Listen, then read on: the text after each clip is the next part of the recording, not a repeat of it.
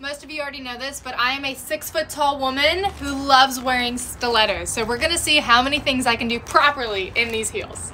But first, let's change. And three, two, one. Okay, we are ready. Let's do this. We're climbing onto my roof to do this. So safe.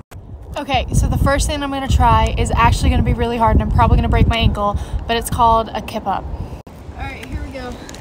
Let's try not to die. Okay, wait, that was successful. All right, let's try a front walkover. So there is a ledge right there. Let's scoot back a little bit. Yeah. Okay, let's try, let's try. Okay, three, two, one. Oh my God. Whew. Okay, not so graceful, but I did it. Running out of time, but last thing we're gonna do. The iconic, whoa!